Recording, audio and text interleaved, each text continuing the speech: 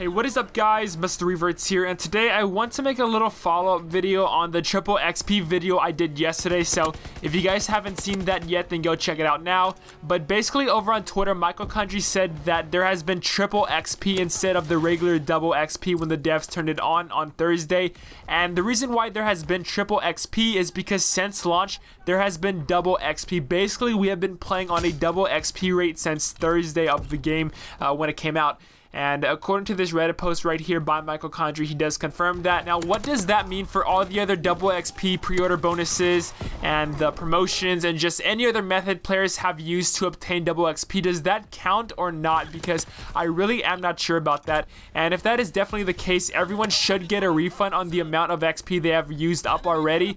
But to me, honestly, it doesn't really feel like we've been earning triple XP. Now, I'm not sure about you guys, but I find it a little bit hard to rank up already and now they're going to be pushing the XP earn rate back to normal. But the thing is, I haven't seen too many players who are high prestiges yet. Like last night, the highest I saw was about 6 prestige, and uh, I don't know, I do think that we should start to see a lot of players who are already like 4th prestige or 3rd prestige by now, considering the game has been on a double XP rate and now a triple XP rate for the weekend. But I just really want to see what the XP rate is like once they reset it back to the regular standard 1 XP because, like I said, I find it a bit hard to just just rank up. And uh, I don't know, it just seems like the average Call of Duty game to me when you first start out. So I'm going to take some screenshots of all my games that I play for this weekend and compare it to the games I play next week and see if there's a big difference or not.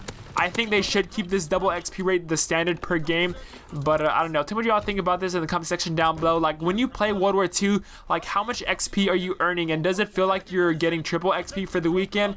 Now I would like to say I want to apologize to the Call of Duty community and Michael Condrey because I didn't take his words seriously over on Twitter. I thought he was joking because like I said, it, it really did not feel like triple XP for me and a lot of players seem to feel the same way but I just made a video about it and uh, again I do want to apologize for that but uh, hey who knows what's going to be happening. Again I do think the XP earn rate is bugged so uh, we'll just have to wait and see about all that. So guys again drop a like and thanks so much for watching. I'm Everts. Have a great rest of the day. Till next time I'll see you later